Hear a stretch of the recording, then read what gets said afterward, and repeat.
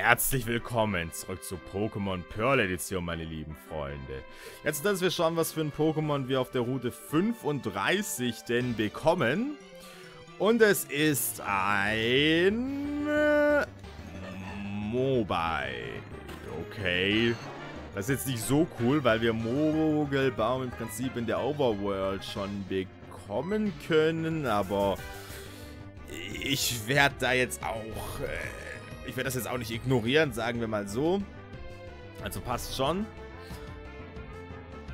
Die Frage ist halt, wie mache ich jetzt weiter? Ich glaube, ich werfe einfach mal einen Ball und schaue, ob mir das irgendetwas essentiell nützt oder ob ich das tatsächlich noch weiter schwächen muss, weil ich habe jetzt die Fangrate von Mobai als relativ hoch im Kopf und es scheint tatsächlich so zu sein, denn ich habe schon gefangen. Gut. Schön, wenn solche Sachen kein Problem darstellen. Also, ja, genau, kommt mit meinem Pokédex. In order to adjust the level of fluids in its body, it exudes water from its eyes. This makes it appear to be crying. Okay, also er, er eben, um irgendwie die Flüssigkeit in seinem Körper in den Griff zu bekommen, muss es das Wasser über seine Augen hinaus loswerden. Okay. Gut, ich nenne dieses Ding einfach mal ähm weil sich... Ja gut, wobei, nee. So, so, so nenne ich Mogelbaum. Ich nenne das Ding einfach mal Sarah. Äh... Oder... Nee, Moment. Ich habe eine bessere Idee. Ähm... Ich habe eine bessere Idee. Es hat ja hier drei Bäume. Deswegen nenne ich es einfach mal... Äh... Free House. Hey, das passt hin. Weil, ja, wie gesagt, er hat drei Bäumstängel da oben und er ist irgendwie ein Baum, daher Free House. Yay. Okay. Gut, dann wollen wir hier auf der Route 34, wie gesagt, weitermachen. Hier gibt es einige Trainer, die man bekämpfen kann.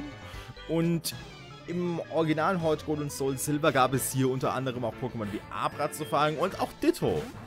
Und Ditto ist natürlich sehr, sehr cool, weil im Prinzip äh, es direkt nebenan die Pension gibt, in welcher man mit Ditto dann praktisch jedes Pokémon züchten kann, was extrem cool ist. Und ich weiß noch, als Pokémon Hold Gold und Soul Silver das erste Mal rauskam, wollte ich unbedingt als Starter-Pokémon ein Tornupto, welches Sondersensor kann, beziehungsweise ein Feuerriegel.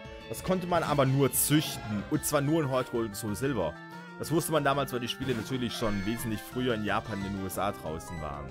Also habe ich damals meinen Bruder angepumpt, dass er so schnell es geht irgendwie nach äh, hier durchsuchtet. Dann habe ich ihm ein Volnona rüber getauscht, was Sondersensor kannte. Er hat einen Feuerriegel genommen, hat es mit diesem Feuerriegel gepaart und Ah, dann hatte ich ein Feuerriegel mit Sondersensor. Natürlich muss das ein männliches nur sein, was nicht so einfach zu bekommen ist und ein weibliches Feuerriegel. Aber das hat dann funktioniert. Was wie gesagt ziemlich cool war, weil ich dann eben eine zusätzliche Attacke hatte. Und äh, ich würde es jederzeit wieder machen, weil Sondersensor ist einfach nützlich. Viele AP, sehr stark, vor allem im, im frühen Spiel enorm mächtig. Aber, ja, ich meine natürlich... Oh, Gener.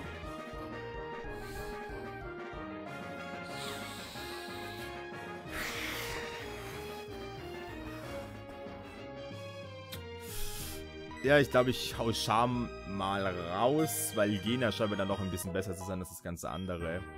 Aber ja, und, und von daher, das ist schon ein Ort, den ich damals sehr erstrebt habe. So, jetzt muss ich ein bisschen aufpassen, deswegen wechsle ich immer wieder zurück und da kommt scheinbar Mobile wieder raus. Von daher, äh, ist vielleicht auch aufgefallen, dass das Pokémon, was im Prinzip draußen ist und schon kämpft, dass das nicht mehr aus dem Pokéball kommt.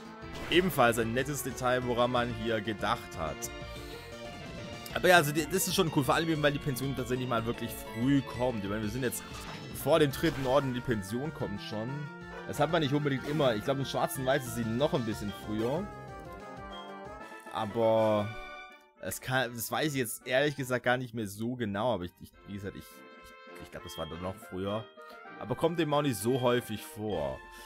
So, ähm, genau. Klar kriegst du meine Telefonnummer, bitte ruf mich an, um mir zu sagen, dass du dabei versagt hast, ein wildes Taubsee zu fragen, weil das sind nicht die, äh, Nachrichten, die ich gerne bekomme. Oh, stimmt, wir brauchen Gegengift. Äh, da müsste ich doch noch einige haben. Ja, genau, Antidote hier. Für Kira, ja, sehr schön.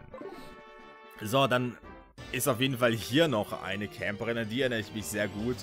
Was hier ein bisschen schade ist, ist, dass die Anrufe von diesen Trainern wirklich nur noch sinnlos sind.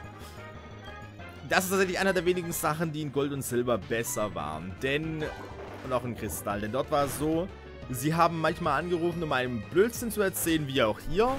Allerdings haben sie auch manchmal angerufen, um einem zu sagen, beispielsweise, dass sie einen Rückkampf wollen. Dann sagen sie ja gar nicht, man muss sich ja selbst anrufen, um einen Rückkampf zu wollen. Zwar rufen sie einen später tatsächlich auch mal an für einen Rückkampf, aber erst nach dem sechsten Orden, soweit ich weiß. Also das dauert tatsächlich einige Zeit, bis sie das überhaupt mal machen. Und ja, ab dem Punkt ist man dann schon abgenervt von ihnen ohne Ende. Oder um einem Items zu geben. Das kommt auch nicht mehr wirklich vor. Das war damals Kristall-exklusiv, soweit ich weiß. Ich glaube, es gab es in Golden Silber nicht, dass die wegen Items angerufen haben, aber da tatsächlich schon. Und da ging, ging eben, und darauf möchte ich hinaus, schon ein bisschen was verloren. So. Wie kann ich mich um den kümmern? Hier. Da ging schon hier ein bisschen was verloren, weil hier kommen einem die Anrufe einfach nur noch sinnlos vor. Die Mama, die anruft, weil sie einem ständig irgendwelche neuen Items gekauft hat von dem Geld. Ich meine, klar, es sind seltene Bären, die man sonst nicht bekommen kann. Okay. Aber trotzdem, die Telefonfunktion ist, finde ich, hier tatsächlich schlechter genutzt. Auch wenn es natürlich besser ist, dass man hier unendlich viele einspeichern kann. Das ist zweifelsohne besser. Was ist aber, aber dadurch, dass es trotzdem sinnlos wirkt, merkt man umso mehr, wie fehlerhaft das, dieses ganze System eigentlich tatsächlich ist. Aber gut, das ist auch nur meine Meinung dazu. Vielleicht habt ihr ja eine andere, so Sky-Blumen. Ich habe ehrlich gesagt keine Ahnung. Wechsel einfach mal äh, Bisa Knosp ein und schau mir da mal an, was das da ist. Ah, es ist Hubbeluff. Gut, äh, das ist perfekt, weil das kann ich mit meiner Säure auf jeden Fall ausschalten. Äh, schön, schöne, schöne Löwenzahn, den du da auf dem Kopf hast, aber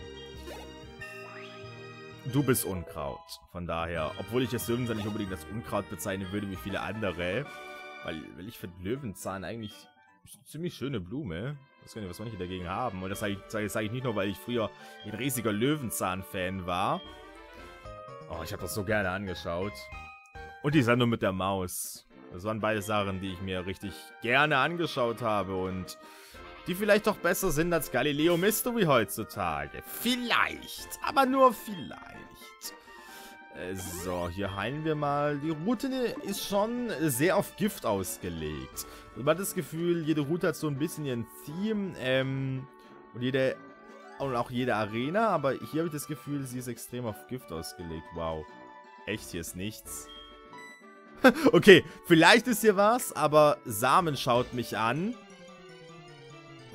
Ernsthaft, Leute. Oh, ein Kadabra. Das, da werde ich sowas von... Okay, gut, er ist selbst, von selbst gefrittet. Also natürlich gab es hier früher nur Abras. Dass man wilde Kadabras sieht, ist eher selten in Pokémon. Ich glaube, es gibt ein paar Orte, aber wie gesagt, es ist eher selten. Aber ich meine, das Spiel macht's möglich. Also von daher. Opa! Hm. Äh, open, open!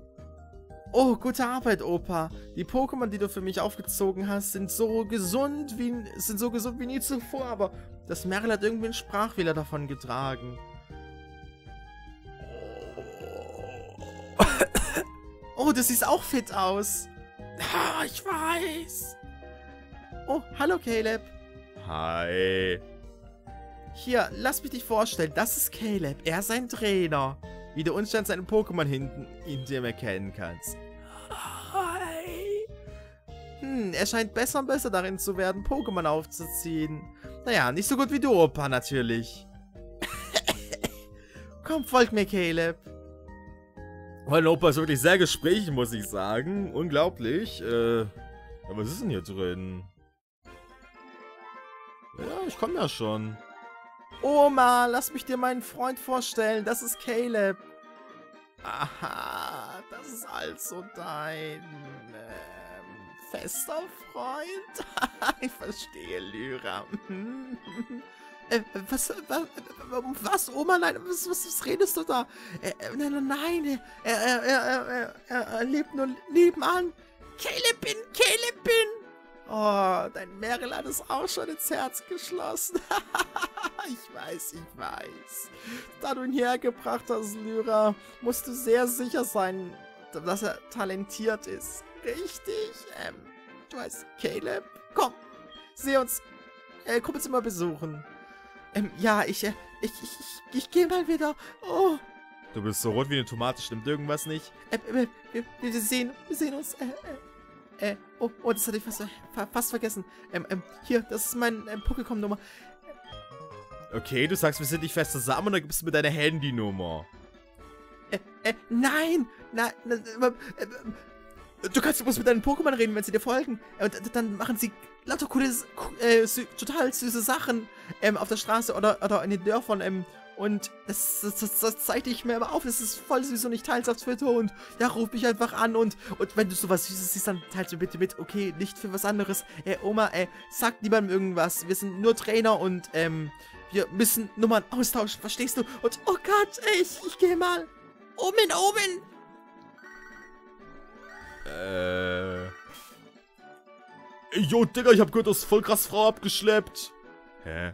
Ey, war nur ein Scherz. Äh, schläfst du noch? Nein. Oh, okay, okay. Also, ich habe versucht, ein Kadabra zu fangen. Ja? Junge, ich habe gerade gegen dich gekämpft, warum soll ich noch schlafen? Stimmt. Naja, auf jeden Fall. Ähm, ja, ist es geflüchtet. Ich hätte mehr Pokébälle haben sollen.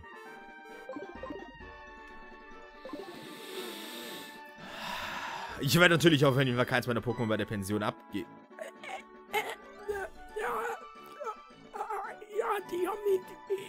Die haben mir unsere Nummer. Da kannst du mal schauen, ob nicht aufzählen. Wow, ich verstehe dich wirklich super. Okay, gib einfach mal die Nummer. Moment, von deiner Frau auch? Ja, schon okay. Ruf uns an, wenn du Pokémon. Ähm. Wenn du Pokémon bei uns hast, ich würde dir gern. Äh, äh, nützlich sein. Ähm, und diesen Pokémon benutzt, den mir gegeben hat. Cool, voll viele Apps. Ja, ich habe alles verstanden. Ich bin auf der Patrouille und suche nach sehr verdächtigen Individuen. Ja, da, das sind die Polizisten, gegen die man nur nachts kämpfen kann. Das hatten wir auch in Diamond und Pearl. Die gibt es übrigens nur in diesen beiden Spielen. Was auch so ein bisschen äh, eine Anspielung darauf war, dass das hier möglich sein könnte. Allerdings gab es Diamond und Pearl auch Trainer, die man nur morgens kämpfen konnte, nämlich die Jogger, die es hier wiederum nicht gibt. Also, vielleicht war es dann auch nicht so klar. Kommt darauf an, wie man es interpretiert. Verfolgung? Okay. Egal, äh, du stirbst. Bitte Game Freak, macht genau das aus Zertrümmerer und Zerschneider wie hier. Weil hier sind sie tatsächlich nützlich. Es ist einfach so cool. Ich weiß, ich sage das oft, aber ich kann es nicht oft genug sagen. Es ist einfach episch. Moment, war das, war das schon der letzte Trainer? Ich hätte schwören können, dass es hier mehr gibt irgendwie. Also wirklich. Das erscheint mir fast ein bisschen wenig, aber... Also die Route 34 wurde mit Sicherheit nicht verkleinert. So viel kann ich, kann ich sagen. Aber... Ja, was weiß ich. Oh, Aeroas. Einfach so. Das ist cool. Es ist eine Attacke, die nie verfehlt, egal wie hoch der Gegner seine Flucht, oder egal wie schnell der Gegner seine Fluchtwelle erhöht, oder wie niedrig die eigene Genauigkeit ist. Aber, nee, hier ist echt niemand mehr, okay. Aber ich habe eben gar kein Flug-Pokémon, deswegen hätte ich jetzt Hutut noch, also meine, meine Taschenlapp wäre es was anderes, aber der ist irgendwie tot. So, Ducatia City, die riesige Stadt. Der Radioturm in Ducati City ist eine riesige Sehenswürdigkeit. Sie haben gerade eine Werbekampagne. Sie modifizieren deinen Pokécom, sodass du das Radio benutzen kannst. Okay, das ist cool. Das ist wirklich cool. So. Was hat meine Mutter diesmal gekauft? Ja, ich bin auch davon genervt, dass ich ständig liefern muss, aber hey, ich krieg Geld dafür.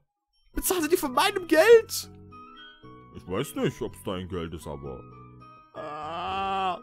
Willkommen zum Ducatia City Einkaufszentrum. Das Einkaufszentrum hat eine sehr gute Auswahl, aber manche Items sind nur in der Spielhalle verfügbar. Ja, zur Spielhalle, da werden wir doch kommen, das ist ein ganz eigenes Thema. Ähm... Oh, ich freue mich schon darauf, heute wieder einkaufen zu gehen. Äh, Mama ist sehr gut darin, Schnäppchen zu jagen. Sie hat so ein Gesch... Sie kauft nur Sachen, die einen niedrigeren Preis haben. Da muss eben schauen, wo man bleibt. Muss jeder von uns. Also von daher... So, was hast du denn? Ähm... Okay, also ihr seht schon, hier kann man eine wesentlich größere... Man eine wesentlich größere Auswahl? Nee, wenn, dann möchte ich zwei. Und ja, die sind gerade mit einer mega Laute da draußen rumgefahren. Könnte fast meinen, hier wäre permanent, hier gibt es permanent Notfälle und das ist wohl leider auch so. Okay, ne, ich habe doch genug Pokebälle, glaube ich. Pokepuppen sind komplett sinnlos, damit kann man sicher flüchten. Hey, man kann hier Elementsteine kaufen. Cool, das wusste ich gar nicht. Konnte man auf jeden Fall, ich glaube, normalen Hautgrunzen sind wir nicht konnte man in Prismania City in Kanto. Aber ansonsten, die Damen hier im Einkaufszentrum grüßen ein, grüßen hier sogar jemanden wie mich mit Respekt, der hier mit dreckigen Schuhen reinkommt. Das ist, was ich mal professionell nenne. Uh. Hey, hey, wusstest du, dass sie hier ähm, ein paar Elementsteine verkaufen? Ja, das habe ich gerade gehört. Ich find's voll cool. Oh, ich habe mein, ich glaube, das ist Farbiegel. Ich habe mein Smart, mein, mein Farbiegel in der Spielhalle bekommen. Jetzt ist es mein allerbester Partner. Ja, dann stimmt, hat er, hat er diesen Boden hier angemalt? Sieht nämlich sehr bunt aus. Die Existenz von diesem Einkaufszentrum sagt mir, dass Ducati City eine große Stadt ist. Die Selektion hier gibt es nirgendwo anders. Das ist richtig, allerdings muss das nicht unbedingt so sein. Ich sage nur Route 9. Es ist ein Kaufhaus, was, was einfach nur auf einer Route liegt. Auch wenn das zugegebenermaßen nicht so groß ist wie das hier. Also das ist schon, das ist schon größer, muss, muss man tatsächlich sagen. So, die Kampf-Items, die ich niemals benutze, auch niemals benutzen werde. Ich, ich, ich bin wirklich ungeduldig. Ich benutze äh, X, X Init, um meinen Kampf, um die, die Init von meinem Pokémon im Kampf zu erhöhen. Hey, wenn du kampfst, solltest du irgendein X-Spezial nutzen. Das ist ziemlich cool. X-Spezial erhöht die Spezialattacke. Ja. Nein, nein, danke. Weder X-Spezial noch X-Spezialverteidigung benutze ich. So, die dann, die dann schon eher, die geben mir 10 EVs pro. Ähm, aber mittlerweile ist das EV-Training in einigen Punkten wirklich einfacher geworden. Aber trotzdem ist es schon nützlich. Hey, ich liebe starke Pokémon. Ich füttere sie mit Proteinen, um ihren Angriff zu erhöhen. Das ist gut.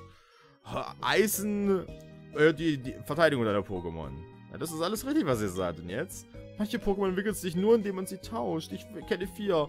Machoma, ähm, Mashok, Kadabra, Alpollo und, ähm, ähm, ähm Gerok.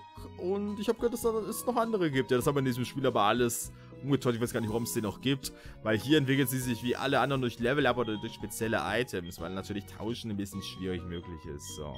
Was haben wir hier denn? Ähm... Ja, okay. Sind schon einige nützliche Attacken dabei. Bin mir überlegen, ob ich das kaufen soll für... Für McChicken. Feuersturm, aber ich glaube, ich warte noch, weil ich kann natürlich auch in... Oh, cool. Schaufler, Kehrtwende... Nee, Quatsch. Nee, nee, äh, das ist... Strauchler. Und Ruhrort. Das sind, das sind schon gute Sachen. Gute Themes. Ich komme ja noch in die, in die Spielecke, von daher, ja, mir, mir fällt das äh, ins Casino. Du kannst deine Pokémon umbenennen die, du kannst deine Pokémon nicht umbenennen, die du in einem Tausch erhalten hast. Die Name reflektiert die Gefühle des originalen Trainers für das Pokémon. Bullshit, weil da kommen manchmal so schlechte Namen raus, die vor allem in Caps geschrieben sind, das weiß ich gar nicht. Sonntags kommt eine Dame hier, um, um sich deine Pokémon anzuschauen. Sie gibt dir sogar TMs, Ja, die gibt einem Rückkehr, was sehr cool ist. Also normalerweise, normalerweise. Ich sag ein Pokémon, hast du ein Noctu? Nein. Würdest du es gegen mein Torkoal tauschen? Ich glaube, das ist...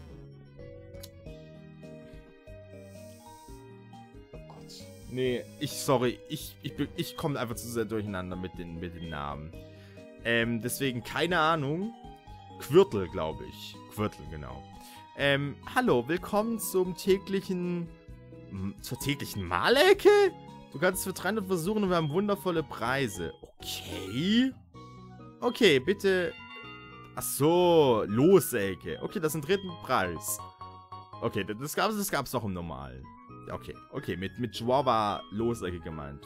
Freitagspreise Nummer 1, TM42, Nummer 2, Finsterball, Nummer 3, eine Beere. Ja, zumindest kann man immer gewinnen. Nur hörst du auch mal manchmal Radio? Welche, welche Sendung bevorzugst du? Ich habe kein Radio. Oh, also ich mag Buenas Passwort.